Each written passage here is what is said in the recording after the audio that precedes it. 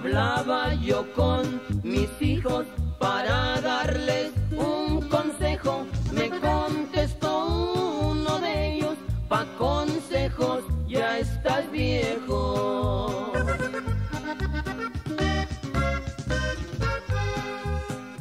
Me dijo el menor de todos, papá, no sigas hablando,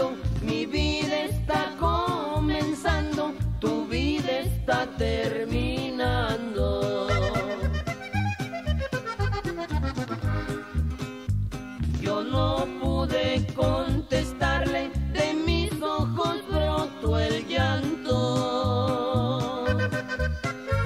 Al escuchar las palabras de un hijo que quiero tanto. Amigos, esta es la historia. La historia de nuestros hijos que no ha quedado imprimida porque es la ley del destino. Les damos todo el cariño y parte de nuestra vida. Gastar dinero en los hijos no es una cuenta perdida. Me contestó la señora, la que antes era mi esposa. Mejor no les digas nada, porque eres muy poca cosa.